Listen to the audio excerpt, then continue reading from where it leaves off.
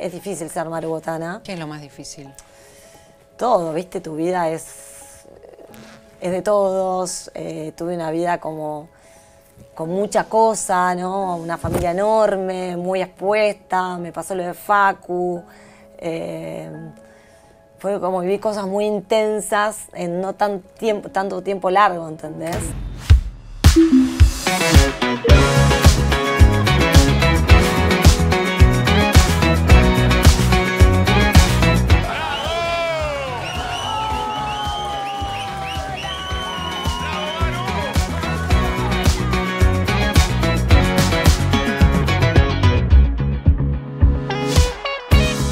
Tiene siete sucursales en Argentina y va por una más.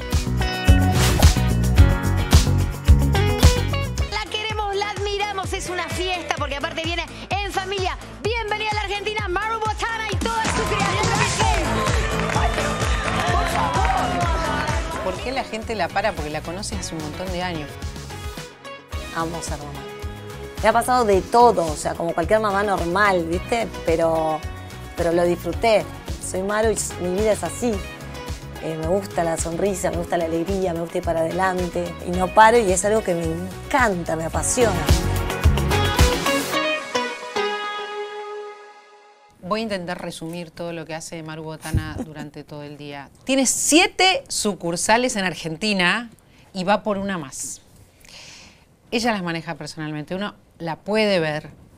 Ella va girando por los restaurantes o confiterías, donde además tiene venta online, donde además hace catering, pero además da clase de cocina y además está en Twitch. Y además, no sé, 200 millones de cosas. Además tiene siete hijos que criar, por más que algunos ya están grandes. No me da la agenda, Maru Botana. No me dio nunca con vos, pero ahora me da menos. Porque en general cuando pasa el tiempo, se supone que uno hace un poquito menos o no. Sí, eh, sí, no, no es el caso. No sé por qué, pero, pero bueno, te decía recién, soy feliz con, con eso, como que me proyecto y me gusta tener proyectos y más cosas para hacer y desafíos y, y bueno, encontré como una beta de vida como muy variada, todos mis días son distintos, eh, eso me encanta, lo disfruto, a veces como que estoy, me voy a dormir ansiosa por el día que me toca el día siguiente, pensando todo lo que tengo que hacer. Eh, y- y- por otro lado, el otro día estaba en mi nuevo local de Pilar, que me hice un espacio, una cocina que tenés que venir, te va a encantar, eh, a la vista, y decía, qué loco, ¿no? Que en el fondo hago un montón de cosas, pero también sigo con esta pasión de cocinar y cocinar, y me pongo ahí, empiezo a cocinar, y, y no, y no paro, y es algo que me encanta, me apasiona. En el medio que me sacó fotos y todo, pero estoy cocinando. Entonces dije, che, todos mis locales tendrán que tener esto, porque es algo como que, porque transmitís lo que realmente te gusta, estás en tu local y, y podés también darte a la gente, ¿no? Es, es como algo súper lindo, mágico y muy real. No es que estás tipo así, no, estoy haciendo lo que me encanta, que me encanta cocinar, cocinar en mi casa, lo puedo hacer acá, enfrente de todo el público, qué lindo. ¿Y probás lo que cocinás? Pruebo bastante. Lo que pasa que, bueno, tengo como una conducta muy fit, me gusta mucho entrenar. La verdad que el entrenamiento eh, pasó a ser mi psicólogo.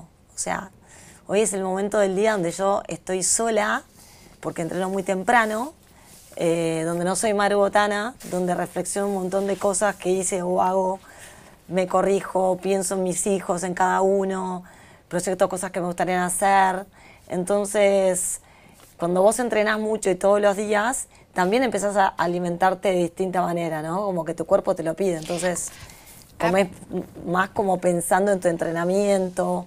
Me gustan mucho las, las nuevas eh, tipos de, de- de alimentos que han surgido, las nuevas, eh, como se diría, eh, disciplinas, sin pegarme a ninguna, pero voy prestando atención. Entonces, eh, qué copada todo el tema de las semillas, y me fui haciendo muy apegada al tema de las semillas y me di cuenta que me hacen muy bien. ¿Estás en el mismo peso o, o un poco Eh, menos? Sí, por- un poco menos. Un poco menos. Pero también es por la vida que llevo, creo. Eh, ¿No? Como que no para un minuto. Entonces también eso te lleva, ¿viste? Porque a veces también estás como tan ansiosa por unas cosas que o comes menos o te perdes una comida y entreno un montón. Y entrena desde hace un montón de años. Yo cuando la conocí ya entrenaba mucho, desde la mañana, desde el alba. ¿Cuánto tiempo por día? Casi dos horas seguro. Casi dos horas. Sí.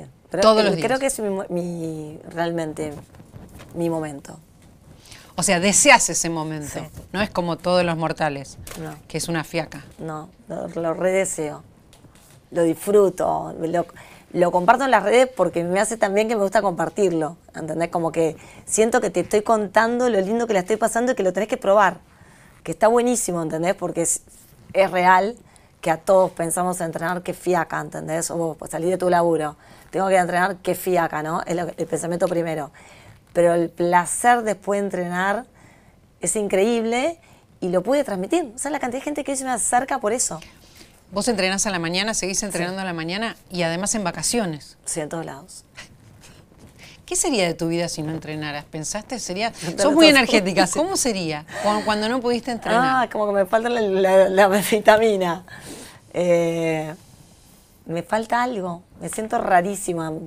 Cuando por ahí me pasó que, no sé, tenía que tomar un vuelo, me quedé dormida, no pude entrenar, llego a casa y entreno porque me falta algo, me falta mi, mi motorcito, me falta eso. Me, me fui haciendo, o sea, muy, muy fan del entrenamiento. Bueno, el año pasado corrí un, un 42 eh, que era mi primero, que tenía pánico, porque la verdad que siento que, que es, un, es, un, es un evento donde tenés que irte preparado no solo físicamente, sino de cabeza. Y me da mucho miedo porque, bueno, estaba con, estoy con New Balance y me da responsabilidad la marca. Y, si bien iba relajada y no me exigían nada, pero viste que todos los maratonistas tienen un tiempo.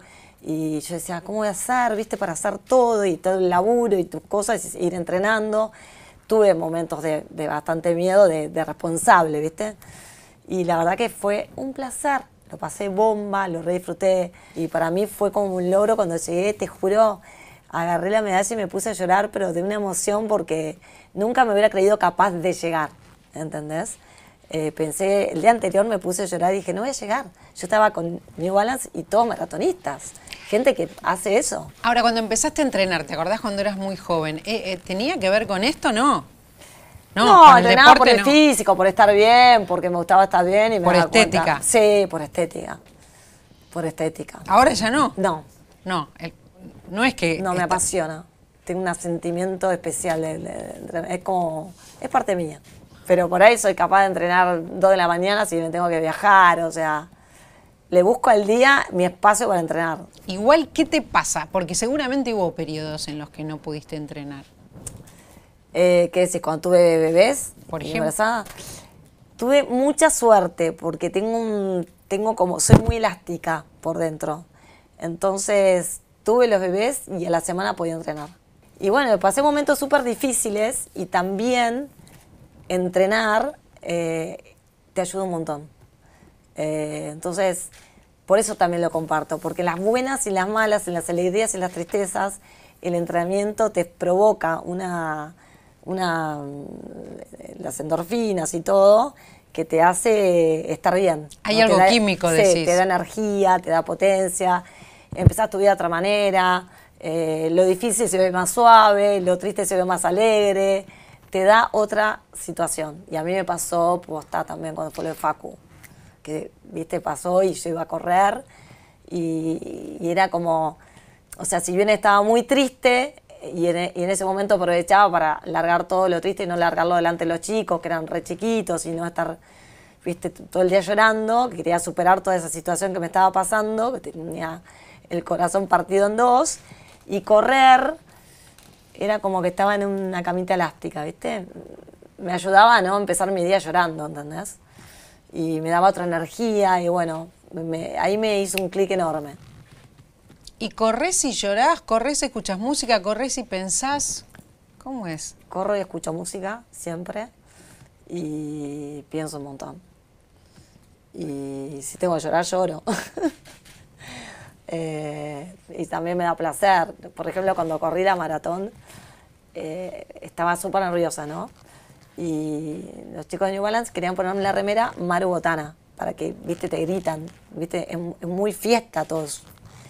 Y dije, no, no, no quiero que nadie me diga Maru Botana. No quiero, pero dale, Maru, Maru, go. No quiero. Bueno, fue como una lucha. después me encontré con argentinos que vivían que era mucho ¿Por más qué no querías? Porque quería ser Un corredor. como- sí, un corredor. Quería ser incógnita, por más que nadie me conociera o que fuera, quería ser incógnita. Pero sí, en el momento que tenía miedo, agarré mi teléfono y me filmé toda la maratón. O sea, estuve en vivo toda la maratón contando todo lo que me pasaba, que era, para mí era, no lo podía creer. O sea, había bandas de música, la gente en los balcones, los chiquitos convidando caramelos. Era una fiesta. O sea, era lo que decís, no puedo abandonar esta carrera. A ver, hay dos horas entonces que están como alquiladas para entrenar Sí. al alba. Y después vienen un montón de actividades que ¿cómo las organizás? ¿Hay agenda? ¿La agenda está en el teléfono? ¿Está en la computadora? ¿Está en una persona, veo? Está en una persona que te va llevando. Sí, y por sobre todo a la mañana me dedico mucho a, a- a mi casa. A organizar mi casa, a dejar eh, la comida lista. Básicamente me encanta que mis hijos tengan su comida lista y, y como que tengo un toque ahí que no lo puedo soltar. O sea, si no dejo la comida porque me tuve que ir súper temprano, pero trato de organizar algo para que ellos... eh, tengo varios que están comiendo en casa por facultades y, diferentes horarios. Hoy tengo so- solamente tres en el cole. Eh, y eso es lo que me preocupa, la mañana como dejarla bastante organizada, como estar ahí un rato organizando y hacer la comida. Y ahí arranco con Tuti. Eh, al día a los locales, a grabaciones, a hacer material para el contenido para las redes, así tengo que viajar, viste que viajé mucho durante dos años a Mendoza porque hicimos el hospital de Abel, de Conín. Eh, todavía sigo viajando a Mendoza porque armé una cooperativa, entonces también estoy ahí pendiente de esas cosas. Ahora tengo que viajar, quiero armar una pastelería a las chicas ¿Te vas a armar un restaurante a Barcelona? y me voy a abrir un Marubotán a Barcelona. Para, para generarte un problema nuevo. Me agarró como ese desafío y le puse pilas y tuve encontronazos ahí con Bernardo, mi marido, que sí, que no, que no, que sí. Y yo dije, yo lo voy a hacer, lo quiero hacer, es, es algo que, que quiero traspasar, quiero probar, quiero un desafío nuevo, eh, lo necesito como persona, como quien soy, no sé. Y, y no me quiero de esta vida sin hacerlo y lo logré. Y estoy chocha. ¿Por qué ahí? Porque primero eh, investigué y estuve mucho dando vueltas en Estados Unidos, en Miami, en New York, y no me, no me sentía, eh, no me, me daba cuenta que, que la cultura eh, y todo lo que yo quería transmitir me iba a ser muy difícil eh, por, por el tipo de cultura que tienen, ¿no? Como que no, no iba a poder llegar a eso. Y, y viajé a España y viajé, estuve unos días en Barcelona y me impactó la gente, el cariño de los argentinos, la, esa cosa de me fui a mi país y, la veo a Maru Botana y era como revivir gente que lloraba en la calle cuando me veía. Y ahí ya me hizo un clic, ya volví con ganas de, che, ¿qué onda acá? ¿Por qué la gente la para? Porque la conoces hace un montón de años, porque ella está igual, pero resulta que la vimos en Todo Dulce, en Utilísima, un montón de tiempo, en Sabor a mí, en Telefe, una y mil veces además, no solo una vez, en Maru a la tarde, ahí me anoté algunos, ¿eh? Cocina Rodante, en El Gourmet, eh, Cocinando para vos, o sea, te conocemos todos y en algún momento han probado todos, o sea que es como parte de la familia. ¿Cuántos años hace que estás? Un montón. Un montón. En negocios, 30 años.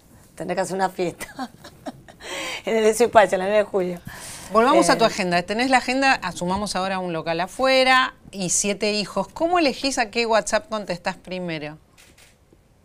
Lo de los padres estoy down. los de Inesita, la más chiquita. Los de la más chiquita que tiene ahora, Cumplió 11 la semana 11. pasada. El primero que lees es el WhatsApp de Inés, si te escribe Inés. No, si me escriben en el grupo si de Inés. Todo lo de Inés es lo que más leo hoy. Sí. El WhatsApp de las mamis de Inés. Sí. Correcto. Un día mi hija, que hoy tiene 18, tenía la edad de Ine, iban al colegio todos y creo que me vio como así agotada de las reuniones. Yo me dijo, mamá, no tenés que ir a todas las reuniones del colegio. Vos andás al colegio solamente cuando te llaman puntualmente para hablar de alguno de nosotros. Evitate todas las reuniones de, padres y todo eso, no vayas más. Y que será demasiado darle hacerle caso. Bueno, creo que al principio no le hice tanto caso, hoy le hice caso. Porque la verdad que, que no puedo y, me parece importante eso. obviamente cuando me llaman por un hijo puntual, estoy firme eh, y me encanta ocuparme de cada uno, ¿no? Soy como super madre. Eh, me ocupo mucho, me preocupan y quiero que, sean súper felices y que no les haya faltado nada. Bernie está en el campo toda la semana, entonces es como que soy yo, su, su, su referente. Eh, y hoy los chicos, viste, bueno, siempre, ¿no? Es como que te demandan y tienen miles de cosas, ¿no? Es como, yo lo noto como una etapa que pasó muy distinta a la nuestra, ¿no? Eh, hay otro mundo. Eh, creo que cuando éramos chicos nosotros, nuestros padres ni aparecían en el colegio y por ahí que ni conocían a tus padres de tus amigos, ¿no? Yo no me acuerdo de mis papás, conocían a los papás de mi mejor amiga, que intimaran. Hoy hay otra historia, ¿no? Hoy conoces más a los padres, intimas más, te ocupas más, haces más el programa. Yo no me acuerdo de eso. Cuando era chica no hacías programas todos los viernes, era cada tanto, invitabas amigos. Hoy es como pa, pa, pa. Mis hijos son re planeros, re amigueros, eh, de que son chiquitos, ¿no? Creo que me mudé más que nada por eso, porque me necesitaba una casa más grande. Ahora igual son pocos los chicos que van al colegio, son tres. En algún momento fueron muchos más y hubo siete chats de mamis o Sí. algo así. Sí. Más Sí. todos los... No, chat tengo miles, miles, no, porque no solo son los de mami, sino son los de los pools, son los de, eh, qué sé yo, tengo miles. Lo que pasa que hoy se me sumaron un montón de otras cosas más, porque con lo de Mendoza también tengo el chat de las chicas de la pastelería, eh, tengo, Y de cada local. claro, Y entonces, ¿y a cuál voy primero? claro. Eh, ¿Cómo son las prioridades con una agenda así? Primero mis hijos, obvio. Cuando veo Ma es el primero que, que me estoy fijando. Y después sí, de los locales o... eh, sí, son los primeros. O sea, ponemos más en mayúscula y respondes. Esa Vamos, es sí. la llave. Sí. ¿Cuándo fue que hubo más gente en tu casa ayudándote con los chicos? Porque viste que hay un momento que está la hermana de uno, o la madre, o la suegra, o todos más los empleados que te están ayudando, o la niñera, o la... em- ¿Cuándo? ¿En qué momento de la Eh, crianza? Cuando nació Juani, que venía después de Facu, y al poco tiempo quedó embarazada de Ine. Pero ahí cuando nació Juani, hubo. Que se ríen ahora, digo, tipo, no, no. Porque tenía contratado unas chicas que eran un amor y eran las linieras, y estos eran los malcriados totales, ¿viste? Tipo, decir, no pueden estar más malcriados estos chicos, ¿entendés? Eh, pero yo estaba full y acababa de tener a Juanito y era como mucha cosa en mi casa y como que me daba cosas. Los chicos eran re chiquitos, pensaba que cuando falleció Facu los chicos eran muy chiquitos. Entonces mi mamá vivía en Belgrano y bueno, yo siempre fui como la de replantearme, no tanto de, castigarme por no estar no estar, sino de esa falta de, contención y amor. Entonces yo empecé a trabajar de vuelta, eh, quedo embarazada, los chicos eran chicos y como que necesitaba verlos contentos, ¿viste? Que no quedara un hueco ahí entre que habían perdido su hermano y la mamá que había empezado a trabajar y qué sé yo. Y ahí fue el momento que más traté de nutrirme de gente divertida, que les entretuviera, que les diera alegría, felicidad. Como que siempre me importó mucho eso. O sea, hubo un tiempo que los chicos tuvieron animadoras. Animadoras, prácticamente era así. Te juro que el otro día me estaba acordando, eh, porque tengo una animadora que yo la adoro, pero fue cuando yo estaba en el programa de Telefe de la tarde, eh, muere Facu y al mes era el cumple de Luchi, cumplía seis. Entonces yo tipo tenía programa a la tarde, tenía programa los domingos, entonces tipo la, viene eh, Adriana, Sapo Pepe, y viene a cantar. Entonces la miro y le digo, estoy desesperada. Ese cumple de Luchi en un mes y con todo esto que me pasó, no sé qué hacer. Ella fue al programa. Ese fue el programa invitada. Sapo Pepe. Sapo Pepe. Y yo tenía cumpleaños de Lucía. Había pasado un mes de lo de Facundo. Y la miraste con toda la intención. No, tipo, ¿qué hago? Decime qué hago. O sea, no tengo fuerza, no tengo cabeza, no sé qué hacer y tengo que festejar el cumpleaños de una chiquita de seis. O sea, yo quería que los chicos tuvieran app, que, que, que, ¿viste? O sea, nos pasó esta tragedia, bueno, pero tenemos que seguir, no hay que caerse. ¿Cuánto tiempo había pasado? Un mes. Un mes. Un mes. O sea. Facu, eh, Facu se murió el 21 de septiembre y Luchi cumple el 23 de octubre. Entonces me dice, te voy a presentar una animadora que nunca más te vas a separar. Y me presentó a Ana Pulido, que hace eventos, y te juro que no me separé nunca más. Me hizo el cumpleaños del mundo. O sea, faltaba un cartel en el cielo que dijera feliz cumple Luchi y era soñado. Y fue, ¿sabes lo que pasó ese día?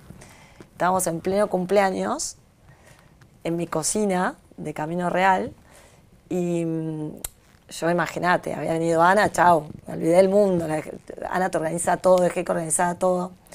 Y estaba en mi cocina con mi mejor amiga, que era la madrina de Facundo, eh, la señora que lavaba los platos y dos amigas mías enfrente. La cocina tipo rectangular y entra un pájaro verde, tiqui, tiqui, tiqui, tiqui, por toda la cocina y se va. Entonces, tipo, nos miramos con mi amiga, ¿lo, lo viste? Sí. Nadie más que nosotros lo vio. Y fue ese día. Y fue como, nada, decir, che, está todo bien. Y nos quedamos calladas y nunca más dijimos nada, pero para mí fue mi señal enorme, eh, que bueno, que nunca me la voy a olvidar. Y fue todo ese día y fue como muy importante, ¿no? ¿Quién era el pájaro verde? Facu, sería. Fue una señal, ¿no? Fue como, wow. ¿Lo habías contado?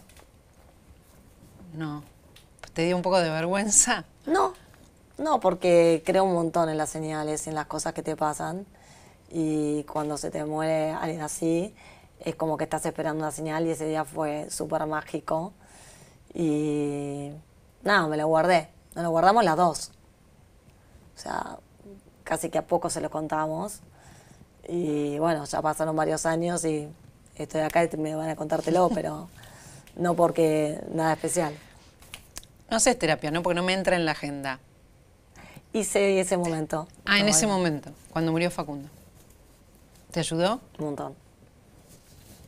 Pero después ya está. Sí. ¿Y quién es tu mejor amiga? ¿De dónde es? ¿De dónde salió? ¿Cuándo la conociste? La conocí. eh, lo que pasa es que hoy tengo como varias, ¿viste? Pero ella en su momento eh, fue genial. La verdad, todo lo que me acompañó. La conocí eh, en el colegio de los chicos. Y se cuentan todo. ¿Es como la mejor amiga o hay varias más? Lo que pasa es que sí, hoy hay varias más. A mí creo que me pasó particularmente que nunca tuve hermana y como que me apoyo en, en- en esas mejores amigas como mis hermanas, ¿entendés? Yo hoy no tengo mamá y los extraño un montón a mis papás y mis amigos son mi familia. Hoy tengo mejores amigas y mejores amigos y son mi familia. O sea, básicamente son los que les cuento todo, son los que son los que me acompañan, me apoyan, me psicoanalizan, o sea, a veces, viste, la vida es difícil ser marubotana. Eh, ¿Qué es lo más difícil? todo, viste, tu vida es, es de todos, eh, tuve una vida como con mucha cosa, ¿no? Una familia enorme, muy expuesta, me pasó lo de Facu, eh, fue como viví cosas muy intensas en no tan tiempo, tanto tiempo largo, ¿entendés? Eh, pues falleció mis padres con espacio de ocho meses. Entonces siempre tuve que estar como batallando cómo salir de la situación, sonreír, ir para adelante, porque soy, soy Maru y mi vida es así. Eh, me gusta la sonrisa, me gusta la alegría, me gusta ir para adelante. Entonces es como intensa. Entonces, bueno, mis amigos sí, son mi familia. Son los que me ayudan, son los que me escuchan, son los que están. ¿Hay amigos varones? Sí, Amigos, amigos. Sí. Para contarles todo. sí, sí, soy súper amiga de varones. ¿Y esos de dónde salieron? Algunos de la vida, eh, así de cuando era más chica, y otros de más grande. Eh, bueno, Juaco, que es íntimo amigo mío, empezó un día, Juanito era chiquito y me había olvidado que tenía una publicidad al día siguiente y otro maquillador me dice, te voy a presentar a este maquillador que no te vas a olvidar en tu vida, te, te va a acompañar siempre y hoy es mejor amigo. Tu mejor amigo, tu maquillador. Mm. Ya te está, teníamos la animadora. Digo, o sea, armamos un equipo. Sí, es que me gusta armar equipos y armarme... Soy muy amiguera, siempre fui, me acuerdo de Claudio Villarroel en Telefe, me decía, no te hagas amigo de la gente. Con la que trabajás. Siempre era el típico lucha de Claudio. No te hagas amigo de nadie. ¿Por ¿eh? qué? Porque no sé, era como para él no funcionaba y a mí me funciona, a mí me gusta eso. Yo necesito la contención, el mimo. La confianza. Eh, sí, viste, a mí me encantaba entrar en mi programa, la productora y todo, y que y ser amiga, ¿no? Que me miraban tipo, llegó Maru, ¿viste? Cállense. Yo me ponía ahí, tipo, ¿entendés? Como, me gusta meterme en el grupo, que yo voy a abrir mi local de Pilar, que tengo 35 chicos que trabajan, y me gusta cocinar con ellos y meterme y... y Ya me fue el Duki. Sí, ¿Cómo fue? crack. Eh, en realidad fue un productor mío de redes que había escuchado que Luquita Rodríguez quería hacer un- como una especie de Masterchef. Y me dice, che, ¿no te copás haciendo esto? Yo lo escucho, Luquita, es un copado, qué sé yo, qué sé cuánto. Le digo, sí, obvio. Yo siempre digo sí primero. ¿Y qué tal te fue? Y me fue bárbaro, la verdad que fue una experiencia súper linda. Eh, nada, lo, lo disfruté como si estuviera cocinando con amigos. Ellos se coparon mucho, se metieron mucho en la, en la cocina, en la receta, en lo que tenían que hacer, se comprometieron.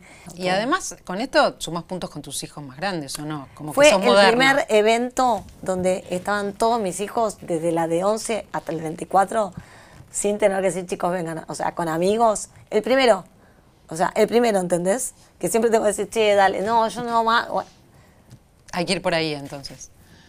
Fue no, igual te digo una cosa, o sea, hasta me encantó, eh, me encantó los chicos, me encantó el Duque, me encantó, o sea, cómo hoy lo que está pasando en la sociedad, ¿no? Estos chicos que, que van por todo, ¿entendés?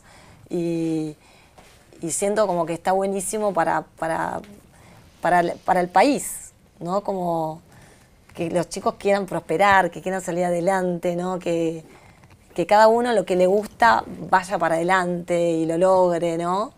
Eh, ¿Tenés alguno con ese fuego que tenés vos? ¿Alguno de, de tus hijos, sobre todo los más grandes que ya están como más definidos, que tienen esa polenta que tenés vos, esa energía? Sí. Creo que la tienen, la tienen que la van a estallar. Sí. Por ejemplo, tenemos una modelo. Tenemos un modelo. modelo es lo más. Es lo más divina y aparte me encanta porque, claro, me ven a mí y creo que por, por- por poco se agotan, ¿viste? Pero yo les cuento un poquito las claves, ¿no? De, de- de- de lo que hay que hacer un poquito para, para llegar, ¿no? Porque no vale con, con que te guste ser, hay que pelearla, ¿no? Eh, entonces, eso es lo que me interesa que vean, ¿no? Porque hoy, viste, hay que enseñarles un poco que hay que lucharla, ¿no? Las cosas no caen solas. Bueno, y tenemos otra que se hizo conocida porque trabajaba en Hawái de, Tiene- tiene de- dato que es el tema de la relación. limpiando casas, ¿no? De empleada doméstica. Sí, sí, sí, Luchi. Es nada que ver a todo lo que soy yo. Eh, y tiene su personalidad y, y su vida, ¿Qué es nada que ver a todo lo que soy yo? nada que ver. O sea, no le gusta el- ni el medio, ni la posición. Eh, lo disfruta, lo comparte, tipo eh, mi mamá, pero no, no lo haría nunca. Viste que tenés chicos que son más parecidos a uno o al otro. No tengo ninguno que haya salido de la cocina. ¿Nadie cocina bien? Nadie. ¿Ninguno de los chicos? No es que cocinan mal, no, no les apasiona, interesa. claro, No les interesa. no les interesa. ¿Intentaste?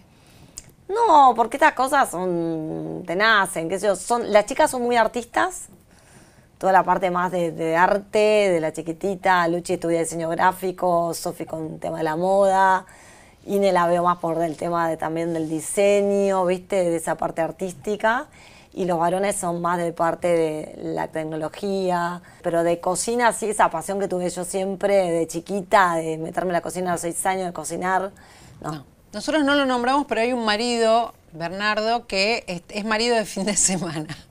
Y ahí está la, la felicidad, ¿o no? ya lo hemos hablado alguna vez. La felicidad de encontrarlo y que cada vez sea un, un deseo, ¿o no? Sí. Y sí, ya imagínate que desde que estoy de novia viaja. O sea, que no viajara sería como, ¿qué pasó? ¿Qué haces acá? Sí, para todos, porque los chicos también se acostumbraron. eh, siempre fue como así, siempre fue nuestra vida.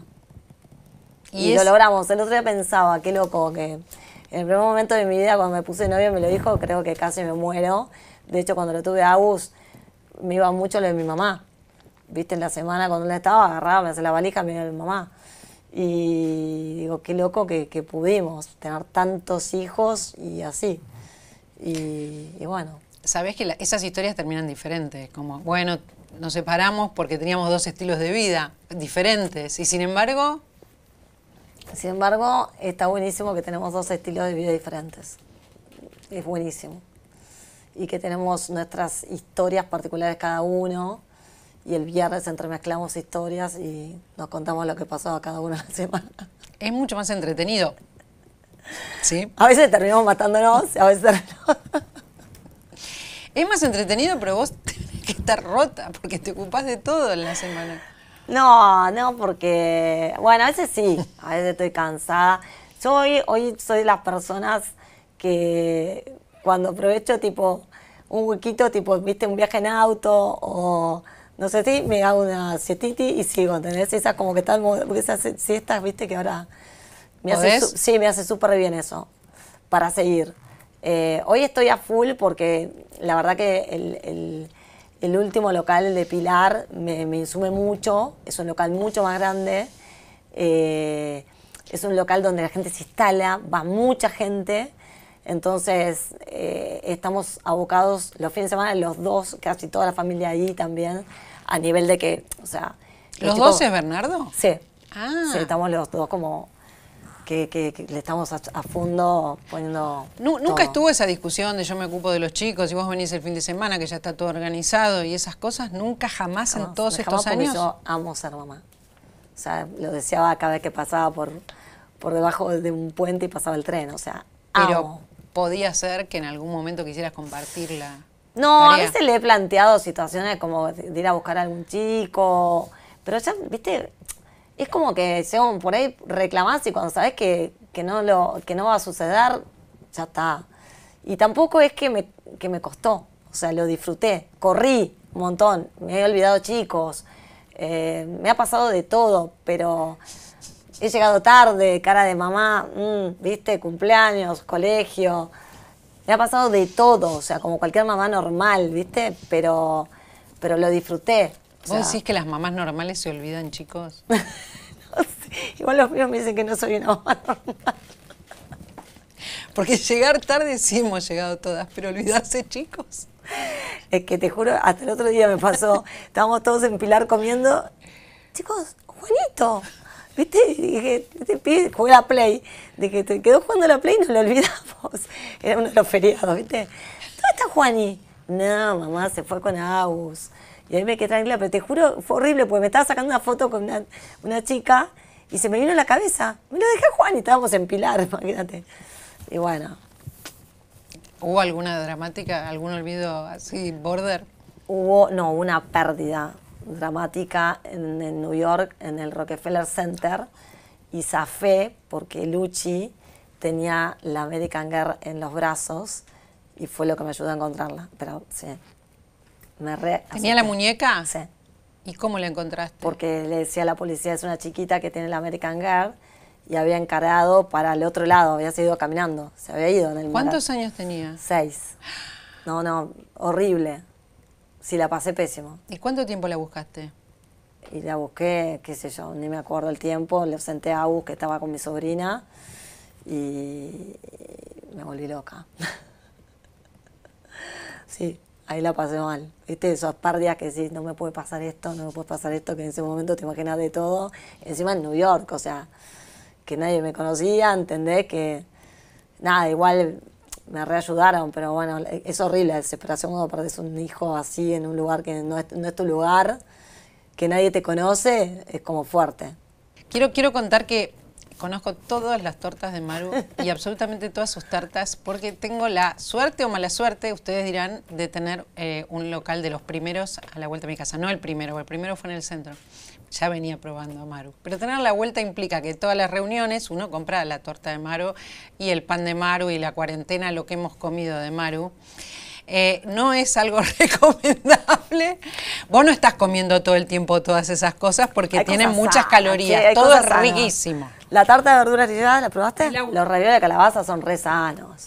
Es tu mano y son los ingredientes que son excelentes además, pero bueno, la idea no era hablar bien de, de cada cosa que cocinas, sino que, ¿sabes lo que pensaba? Que cada hijo está asociado con algún lugar de los tuyos, porque estabas embarazada con uno, yo te veía con Juani en, el, en la sucursal, en esa de Belgrano, o sea que vas a tener, cuando seas grande y ya no Bueno. corras, Sí. Vas a tener asociado Ahora ellos, ellos se reparten. El mío es este, el mío es el otro. Ah, ¿se reparten tus Se reparten, locales? se reparten. El mío, es, el mío es este, el mío es el otro. El mío, viste, tienen como sus preferidos. Por son- eso te digo, no cocinan, pero les, les copa toda esta historia. O sea, eh, es re lindo ver cuando te escriben cartas así por momentos y te ponen toda la, tu recorrida en, en vistas de ellos, ¿no? Sobre todo Agus cuando me hace una carta y me escribe cosas que vio desde chico y cosas que vivió conmigo y es como, wow, ¿viste? Esas cosas que nunca te imaginas que te va a decir un hijo desde su punto de vista que recorrió con vos y cómo te vio, es como fuerte. Y, y ahí te, te ponen toda la parte de la pastelería de los locales, de tu profesión, de la pasión, es muy lindo. Están orgullosos de vos. Eh, supongo que estarán orgullosos o por lo menos siento que, que les gusta esta mamá con, con- con- con tanta adrenalina que a veces los, los agoto, seguramente de verme, eh, pero que les gusta verme feliz con lo que hago, ¿no? Por ahí. Entonces muchas cosas que le hablo de, por ejemplo, Sofi, que está en esta carrera de modelo, que yo, digo, no, gorda, tenés que decir que sí, tenés que, ir a todas las cosas que te proponen, eh, viste, no, no- seas tan selectiva, anda con una sonrisa, sácate la foto con la que te quieres sacar, pero porque yo fui así. Y eso para mí fue uno de mis secretos, ¿no? De, de, de- llegar. Porque era así, iba todo, me invitaban, decía que sí, iba con una sonrisa. eh, yo no conocía a nadie en el medio, nunca me imaginé estar en un programa de tele, en mi vida. Entonces yo voy y le digo todo eso, y por ahí después me pongo al lado de ella y digo, claro, ella lo ve distinto hoy. Ella al revés, ella, y por ahí la admiro. Ella, no, esto no lo voy a hacer porque no me suma. Eh, ¿Viste? Y vos decís, claro, y no sé quién tiene la razón, ¿entendés? Viste que hoy te planteas mucho eso, no sé quién tiene razón. Yo creo que muchas cosas se logran desde esa pequeña situación, ¿no? Dejar puertas abiertas, ¿no? De siempre, si no podés con una sonrisa, no, hoy no puedo, pero la próxima vengo. Y bueno, por ahí lo ve distinto. Entonces, hay momentos que me quedo, porque digo, no, cada uno tiene que hacer su experiencia, y está bueno, ¿no? Si te golpeás o si salís exitoso, está bueno que sea tuya, ¿no es cierto? Y quizás los chicos priorizan otras cosas ahora, ¿o no? Quizás, ¿viste? O, po- o por ahí ven otras cosas o prefieren encontrar el éxito desde otro lado. Eh, depende por eso, ahí, ya ahí después me, me quedo, porque a veces uno persigue, yo perseguía otra historia y ella persigue otra, ¿no? Y los dejas libres. Y los dejo. Hago mi intento y después me voy para atrás. Tic, tiro la piedra y me voy. Te agradezco mucho Qué que hayas venido. Bueno, te traje unas masitas. No. La vamos a compartir acá. Sí, gracias. Para que la disfruten. No, gracias De verdad. Muchas gracias.